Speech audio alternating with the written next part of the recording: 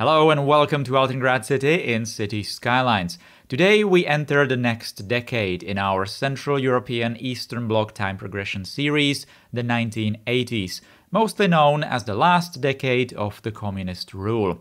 We first must introduce the decade, but that's not going to take us very long, so after that, let's also return and talk about industry and specifically focus on foreign trade. How exactly it worked during the communist times back in the day, how countries traded with the fellow socialist countries, but also with the capitalist West.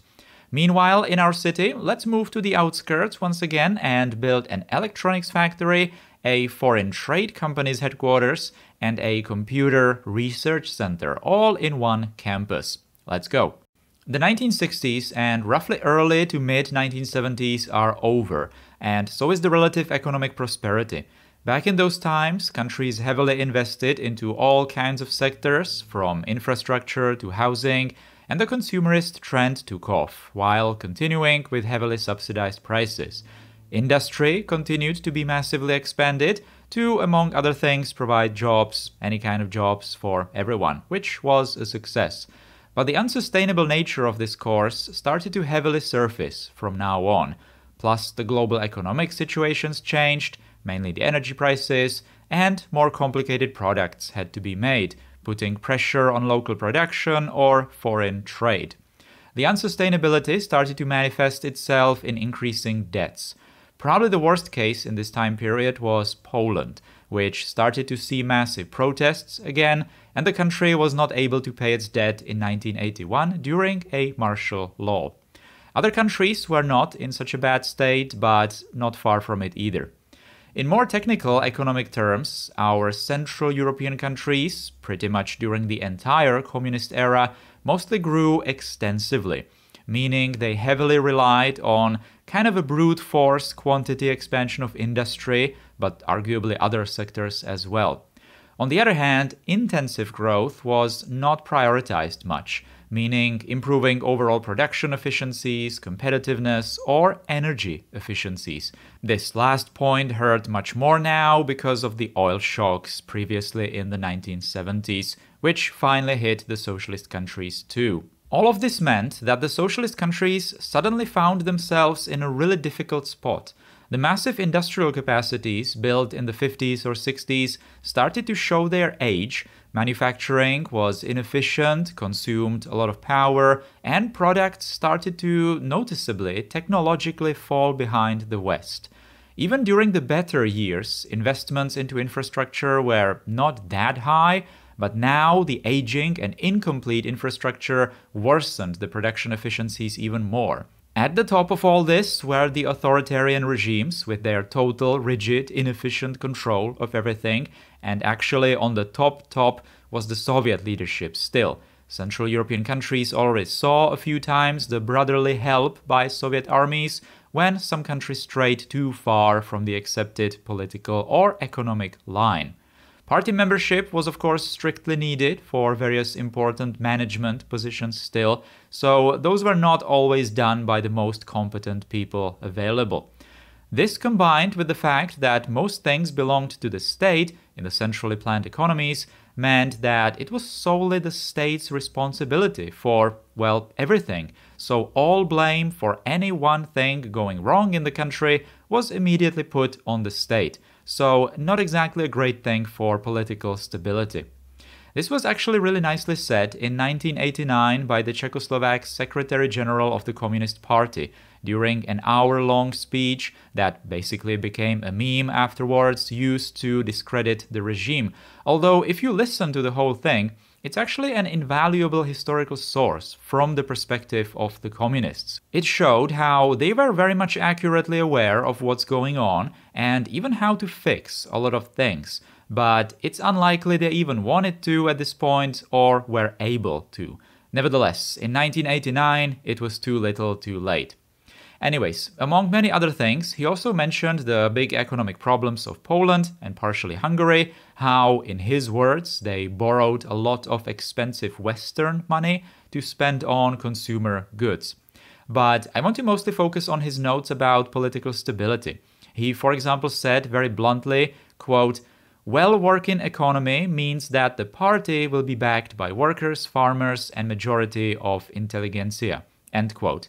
And another one, quote, There is no bread. What is the government doing? What is the party doing? How are they managing things when there is no bread? Would anyone ask that question in capitalism? Of course not. No one would think to connect the government and baker not baking bread. End quote. This just nicely illustrates how the communists put themselves in a corner eventually.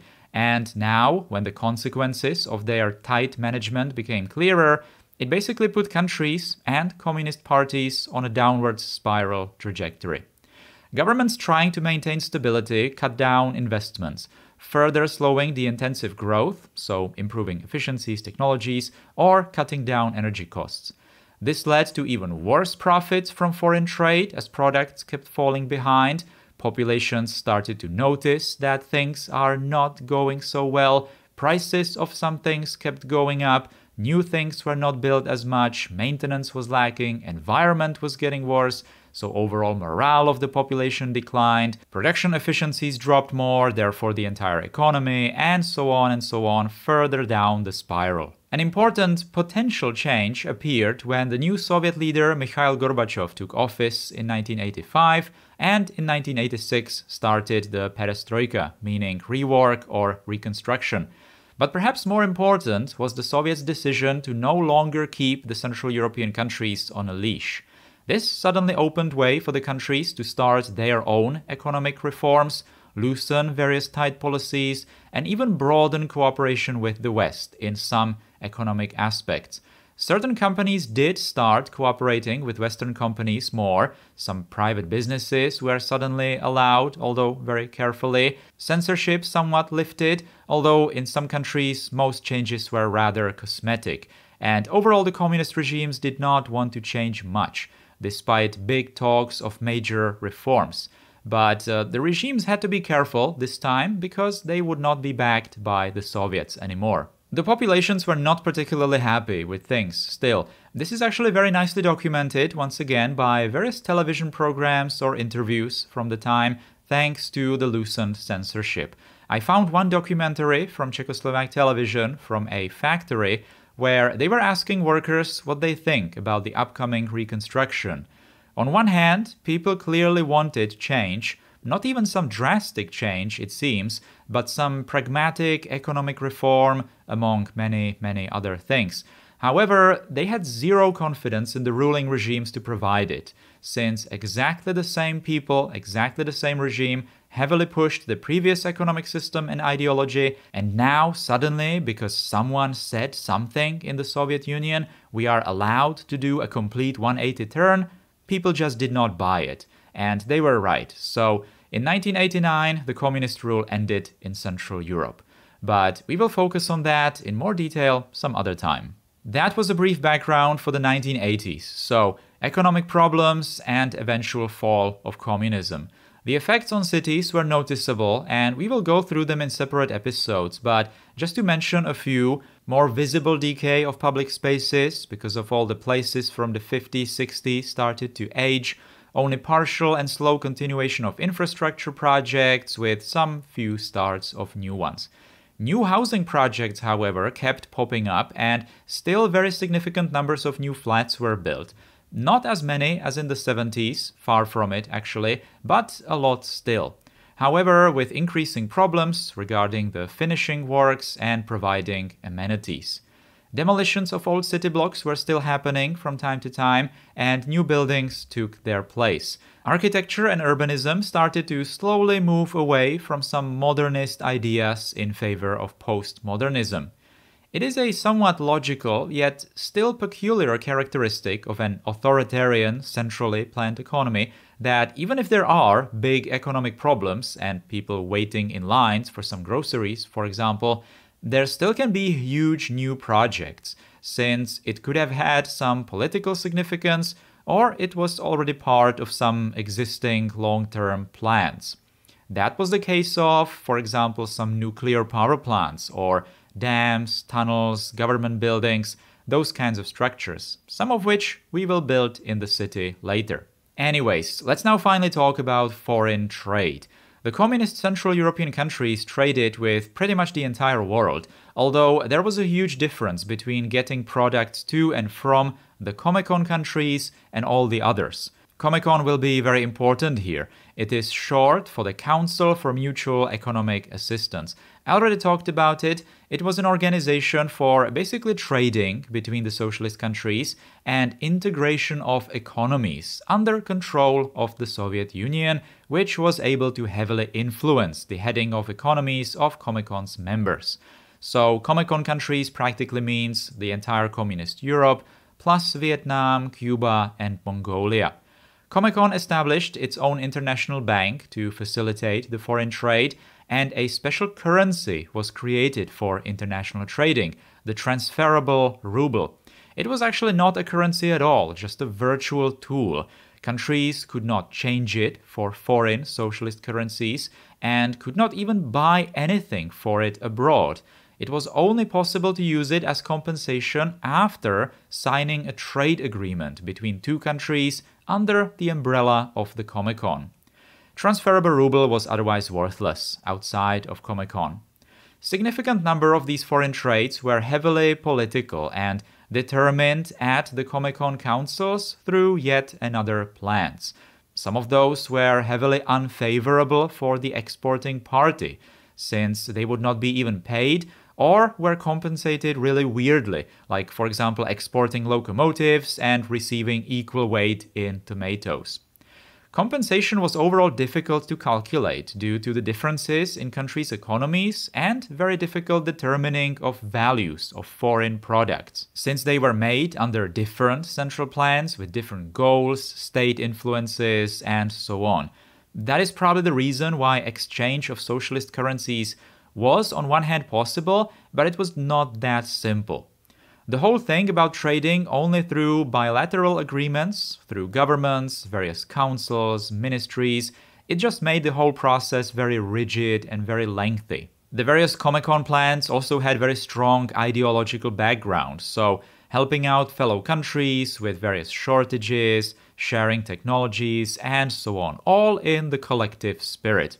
A noble intention, but at the end of the day, things are not manufactured for free. Further, deeper economic integration was wanted by the Soviet Union to eventually establish one big economic system through Comecon, so trading would be much easier, but countries eventually rejected the idea, likely fearing too much Soviet control. All of these things combined made countries economically isolated to some level, although it's a question of what was first, chicken or the egg, economic isolation or difficult foreign trade. That is why people often, in Czechia at least, but other socialist countries I assume, remember the good old days when we were manufacturing pretty much everything. Because socialist countries truly were manufacturing most little things for themselves, even though the reality of actual supply was quite wild. But again, was this situation wanted or it had to be like that since there was no easier way? Despite countries making a lot of products domestically, they couldn't make everything or couldn't make something in sufficient quantities or qualities. And then there are natural resources that are simply not everywhere in every single country, especially uh, things like oil or gas. So foreign trade was crucial regardless, and it would have only been beneficial if it could happen easily. Local production is of course quite manageable if products are simple or don't require many inputs, but as technologies go forward, there need to be many new things made, not to mention the things to make things, so parts of machines, electronics, or special materials. And that is where the Comecon countries started to significantly struggle. Even despite certain local technological advances in various sectors, for example in the computer sector, it was a problem to source specialized parts throughout the whole Comecon.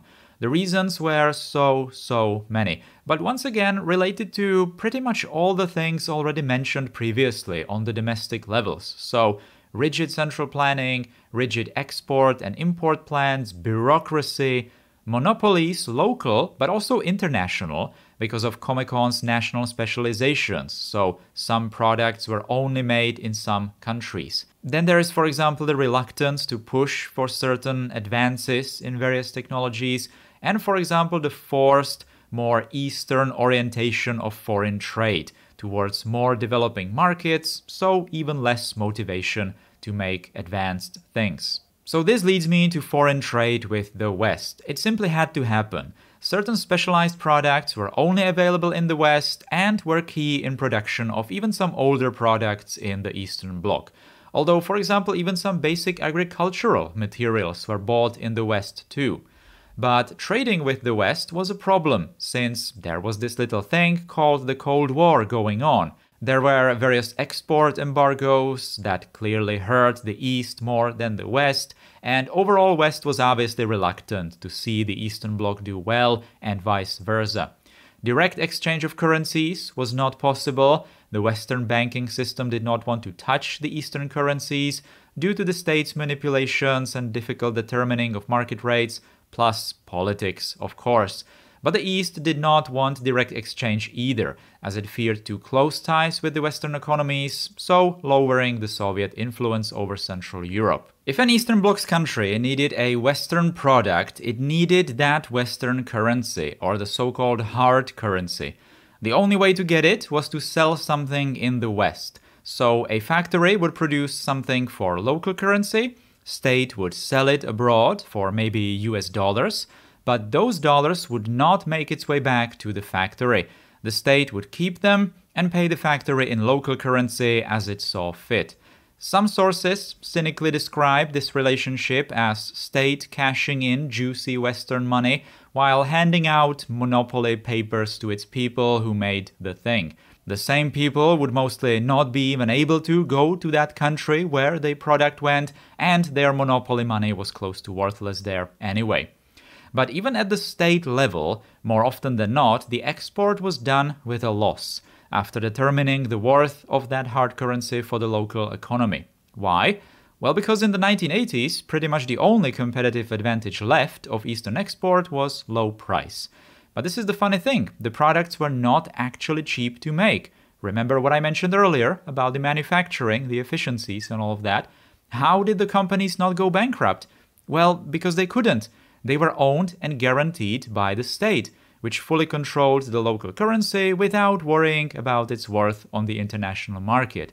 So, in a way, the state might have been able to do whatever it wanted on the outside while doing something else towards the inside but the imbalance would show eventually, since countries were able to import less and less. This is actually once again really nicely illustrated in various media from mid to late 1980s, where people openly spoke about the practice, mostly just stating the sad obvious. There is one Czechoslovak television news report in particular, where the reporter is in a factory making precision machining tools for Canada, and he's saying, quote, because they are exported with profit, not loss, unlike majority of our engineering products into the advanced capitalist countries, it is clear that they are not yet obsolete. End quote.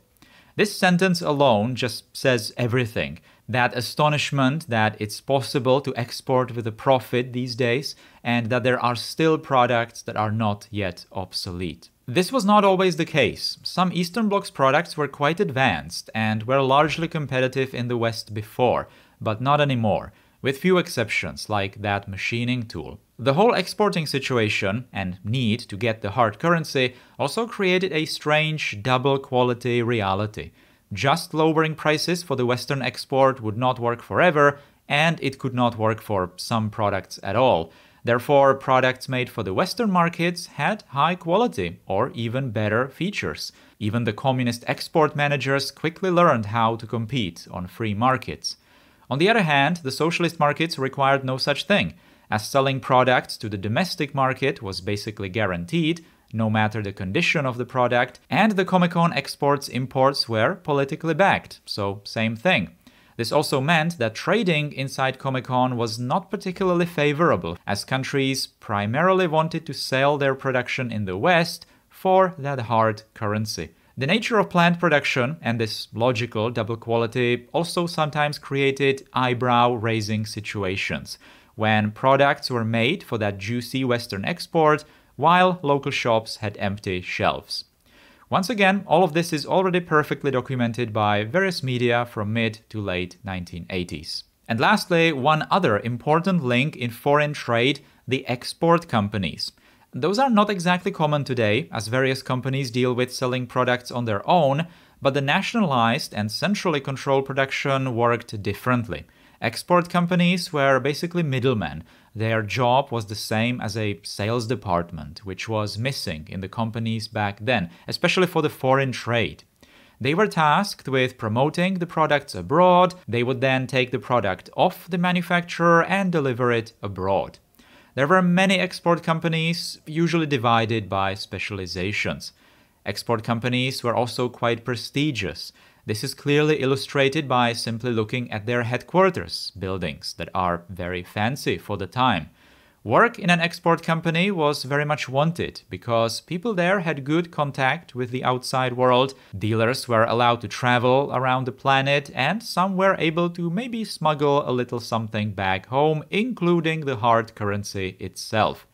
These people were then very well experienced with trading and free markets, which would give them an enormous head start in the 1990s to do local business.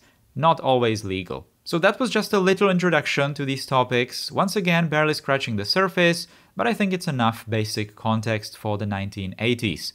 I'm not going to talk about the 90s here or the current times. I'm not going to compare the current times. We are going to have plenty of opportunity to do that when we reach those uh, next decades. And we are also going to focus more on some little subtopics, especially related to just city development. But now for today's build, which is the headquarters of an export company, probably related to electronics, because the rest of the area is an electronics or computer factory and research center. The loose inspirations came mostly from two places. The first is in Dresden, the former Robotron headquarters from early 1970s, which I used mostly for the research area.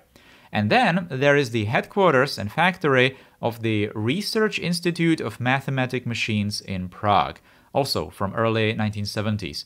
From here, I mostly wanted to replicate that strange position of the tower, since it's between a low density district and a natural reserve, so one would really not expect a high rise in here, yet there it is.